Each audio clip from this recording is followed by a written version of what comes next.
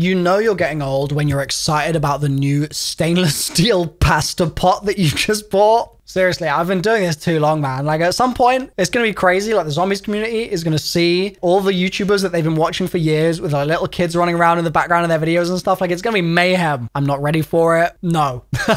So this video is a warning for you, okay? This is actually deathly serious. Pasta pots, be gone. I need to have a moment with you real quick here. So I saw some comments on yesterday's video saying things like the following. I haven't really been paying attention to COD for a few years now, but seeing this video of Milo being genuinely excited about this mystery has just really reignited something in me. Stop. Let me read you another one. Milo will never fail to get me hyped for anything. Love these videos so much. Another one. Can't lie, even though I'm bummed that COD is where it is at right now, these interactive Easter eggs and correlation to zombies has me sitting upright. And especially this one, saying Milo is making me more excited for this game than I've been for any game in a while. Love you, Ruffle. Stop, stop, cut it out.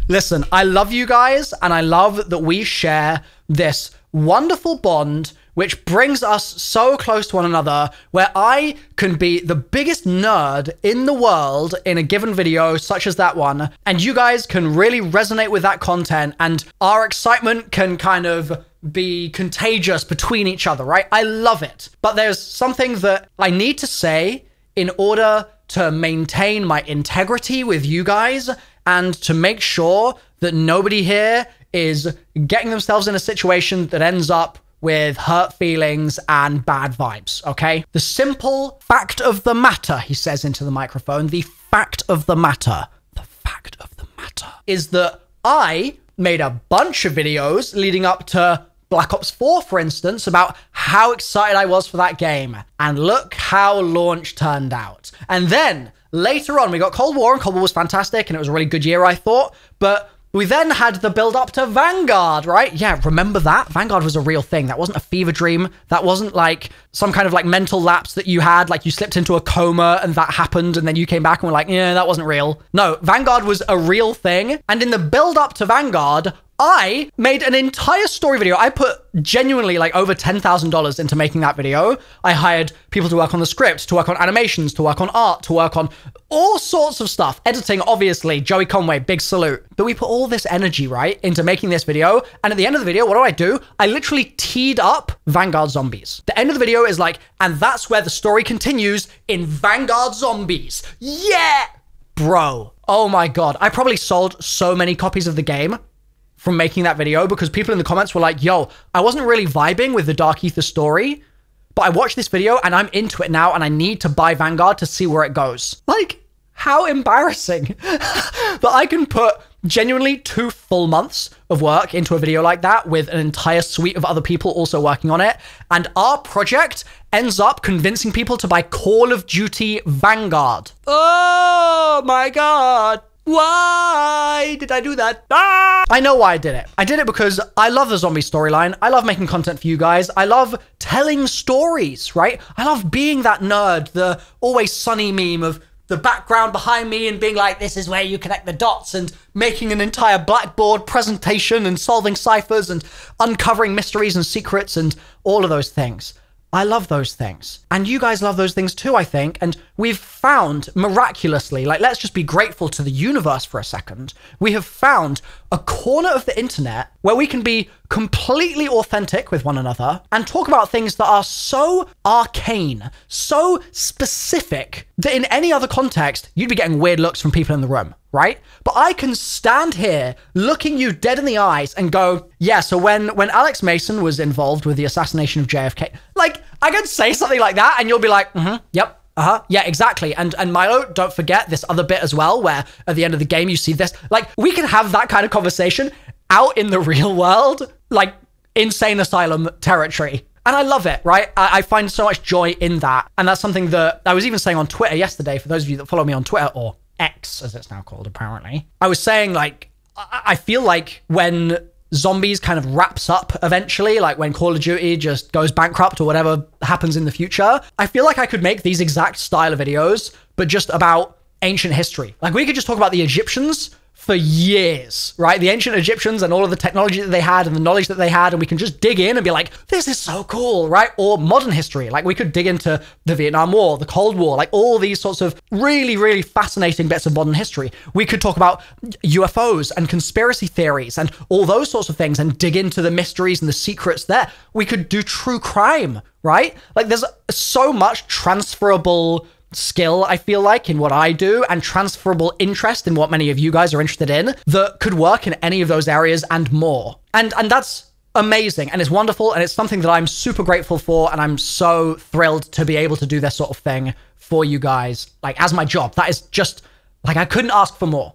But as part of that, it would be a moral failing, I think, on my part to pretend to you at any point that every single thing in the future was always going to be sunshine and rainbows and it was always going to be just like lovely daisies and daffodils, and there was never going to be any situations where you should maybe second guess yourself, or you should maybe double check that you actually want to purchase something, or be 100% confident that that upcoming game is actually going to be good before you buy it. Like something that I've I've always had a kind of uh, a complex relationship with is the whole pre-orders thing in video games because I see this and I've seen this genuinely probably tens of thousands of times over the years in my videos. In fact, that's probably an underestimate, probably hundreds of thousands of times, like across 500 million views. I think genuinely there's there's those sorts of numbers that are being hit here where people will say to me, "I watched this video and it made me pre-order the game."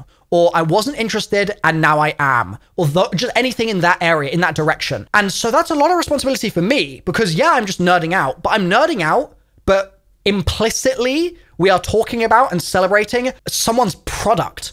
Like Call of Duty is a product made by a business that just wants to make money.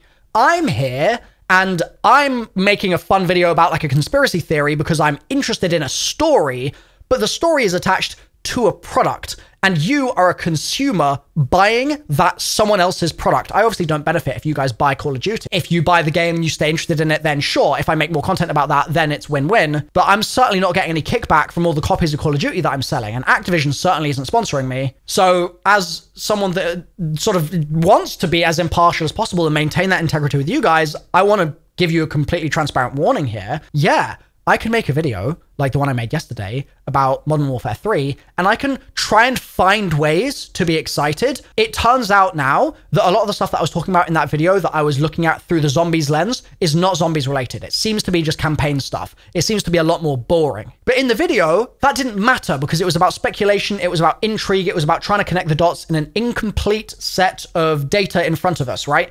the full picture was not presented. We just had a little kind of slither of it, like the shadow of the picture. And we can analyze that and go, oh, okay, this could be this thing that I'm really interested in, right? Or that thing that I'm really interested in. You can see the best of it. But often, reality doesn't meet those aspirational expectations. And so with Modern Warfare 3, I feel just very complicated about the idea of making videos that get people hyped up for a game that I'm not confident is going to be good for them to purchase.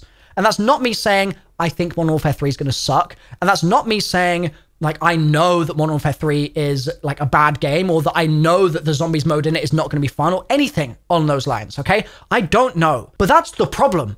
I don't know.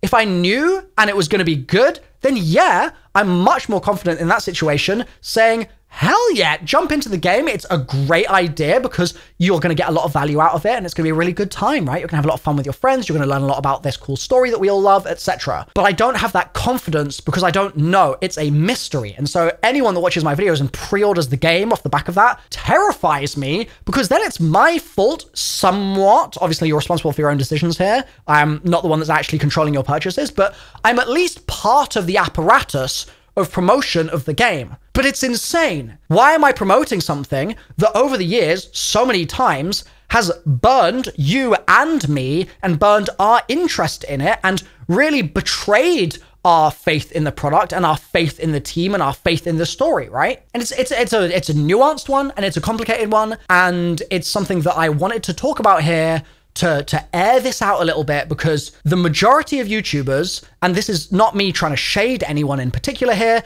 this is just me saying that the nature of the game is that it doesn't make sense to have these sorts of conversations because either you're just getting in the flow and you're making that kind of promotional content, or you're probably the sort of person that just like hates on everything, right? There's a lot of channels out there that just like hate everything that Activision does and they become kind of one track in that and it gets a lot of views and it's great. And that's fine, right? Like each their own. But I'm in this very strange position where I've been doing this for such a long time that it no longer necessarily makes sense for me to be entirely thinking one way or the other. And I think that we've built up enough of a relationship over the years where I can honestly say to you, I would love for this game to be good. And I would love, I would love so much to be able to make videos like that conspiracy video that I just made every day, bro. I would love that. There is genuinely little on the planet that brings me more joy than being a complete weird nerd and showcasing that to all of you guys and bringing you into this little inner circle of crazy conspiracy theorist, story loving, Easter egg solving nutters. Like, I love it so much. But in doing that, I am promoting a product from a business that wants to try and extract as much money out of people as possible. And it's not my business, even. So, like, it's a weird place to stand. And I wanted to just talk about that with you guys because by talking about it, we can all be more on the same page. This isn't me saying in my next video, I'm not going to be excited about the game, right? Because obviously, also,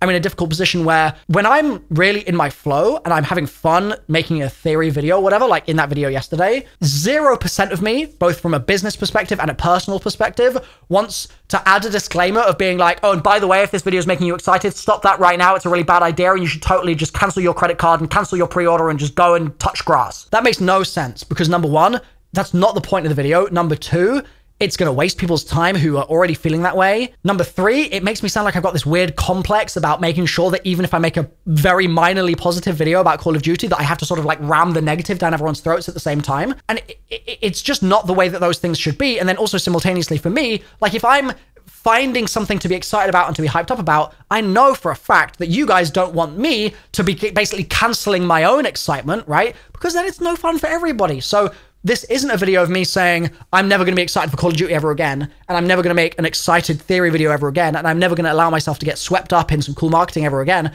because I love that stuff. I love it. But I just want to post this one singular video out into the universe to say all of that can be true, but at the same time, please remember that I can get excited about marketing all day long, but the product needs to speak for itself and you need to make a very calculated decision about how you interact with the product, whether it's through purchasing it. I mean, it happens in other media too, streaming it, renting it, borrowing it from a friend, like all those things, right? And I just don't want you guys to get in a situation where you're like, man, Milo got me so hyped up, and this is the result I got. And it's Vanguard, right? To this day, like that story video that I made, one of my favorite videos I've ever worked on, if not the favorite video I've ever worked on. I was so proud of it. I still am. I think it's it's a, a, masterpiece in many ways from my perspective, and it literally tees up Vanguard. Oh my god, how embarrassing! So I just wanted to get this out there as like, a, if you're excited, stop it, but stop it for the right reasons. Don't just stop it because I'm being a negative Nancy. Stop it because I'm genuinely trying to be conscientious about this and retain the integrity that I think I've built up over the years in telling you guys the truth. Like a lot of people when Black Ops 4 came out were just sort of skirting around the issues and they were focusing on the positives and all that sort of stuff. And that's okay, right? But I didn't feel like I could do that in good conscience completely without also airing out the fact that I felt like there was a real betrayal of user trust and consumer trust in that launch window. I don't think I necessarily navigated it perfectly, right? I'm human. I got emotionally sort of uh, burned in many ways. And I felt like I needed to express that and showcase the fact that it wasn't all sunshine and rainbows, right? But then again, like Vanguard came out and I was like, bro, I've built a career essentially talking about this IP that I think in some instances really excels and is beautiful and is wonderful and is awesome and is so epic and fun. Like Cold War, I think was a really good year to be a zombies fan and the viral campaign for that as well with Pawn Takes Pawn and all that stuff. So cool. But at the same time, there are years like Vanguard and it would it would completely betray any trust that I've built for you with you, right? To be like, yeah, it's always positive and Modern Warfare 3 is going to be the best game ever. Like, no, I don't know what Modern Warfare 3 is going to be. I'm literally making an excited video about an image, and that is not the same thing as being excited about the game itself. Because, I mean, we've all seen this countless times. Halo 5, another example, right? You can get excited for a marketing campaign, and then you can get the game itself and be like, oh, it's something else entirely. And granted, I love Halo 5, but I love Halo 5 in spite of the marketing that they did, which I didn't even see, right? I had my own expectation created from basically just playing the previous games and that was it. But a lot of other people had different expectations based on marketing. And then when I got into the game, I was like, yeah, cool, this is Halo. And when they got into the game, they were like, well, this doesn't meet my expectations, so it sucks. And I'm creating expectations by making these videos. And I'm just trying to temper those a little bit to make sure that nobody has a Halo 5 ever happen again because that happened with Vanguard for us all. And that sucked. And I don't want things to suck. I want you to be happy. And I want to be able to be jazzed about these things. But a video like this is needed every once in a while. Cool. Okay. See you soon. Bye.